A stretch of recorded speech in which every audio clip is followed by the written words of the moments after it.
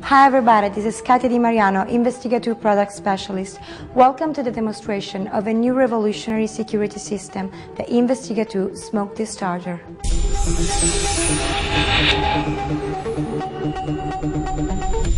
The InvestigaTu Smoke Discharger is the first anti-intrusion alarms for an active protection against theft and robberies.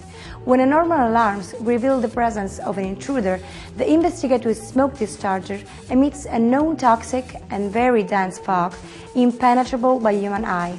In this way, no one can steal what he cannot see.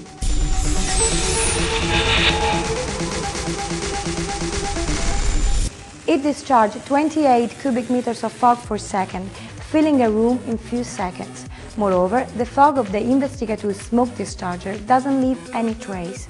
The device is connected to the normal electrical equipment and in case of a blackout, a 12-volt battery will feed the normal battery to avoid the turning off of the machine. Another important thing to consider is the great chance to integrate the InvestigaTu smoke discharger to any alarm system.